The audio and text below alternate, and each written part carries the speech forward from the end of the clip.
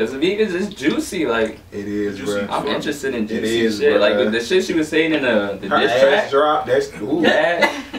Then I seen the pictures with her in Future, and her ass looked like it really dropped. And he Ooh. was pointing at it and shit, like, what Ooh. the fuck? Like, that's what it looked like. And then like claiming the people she fucked like Ebro, Hot 97, that's- Trey So Songz. y'all really think all that is true? Like everything? I ain't say that. uh, her fucking um Trey Songz, Ebro, I ain't say that. All I know is her ass dropping. That ass drop look like it's true though. That look like it's true. Uh, niggas riding round on the swole, on the ground, on the mold. Uh, that green and that gold.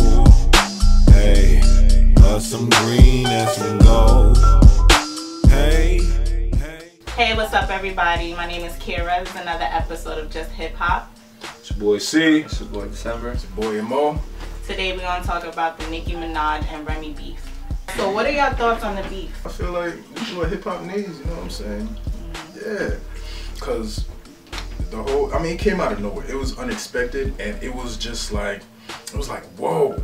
And then you heard it, it's like shit, well damn, she going in. Like, you know, I didn't even peep the back and forth prior to the beat, so I didn't even see leading up to it. So I didn't know anything. All I seen was shETHER. And then I'm like, shETHER, what?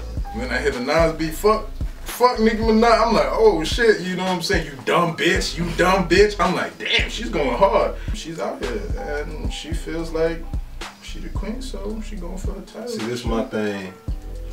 I've been hearing Nicki since like 09. Probably before that. On like all of the old like Lil Wayne tapes and stuff.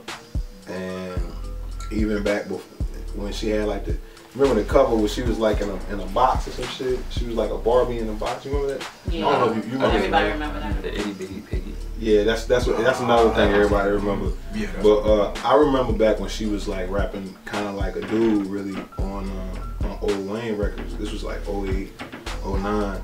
She been talking shit about Remy for probably as long as I can remember, or at least like it like people allude to the fact that she she she's like she's referring to Remy. You understand what I'm saying?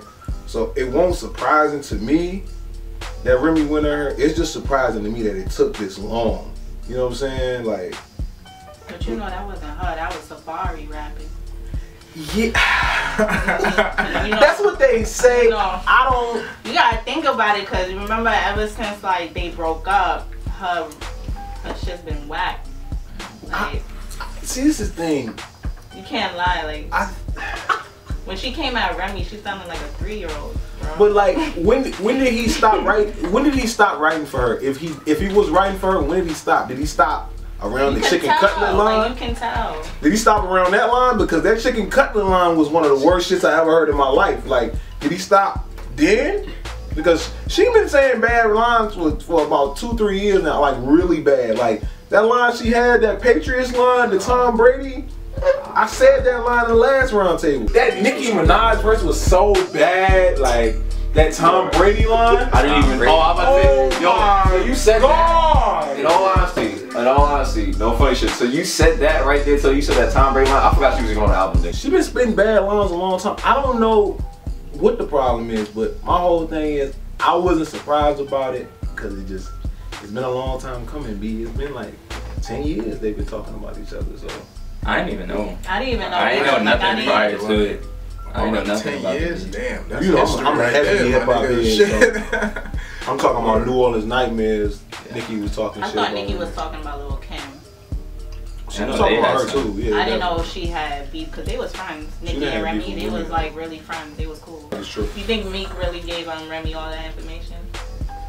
Yeah, he You might think he's salty? He one of those. He a niggas? sucker nigga if he did, but Hey. was better.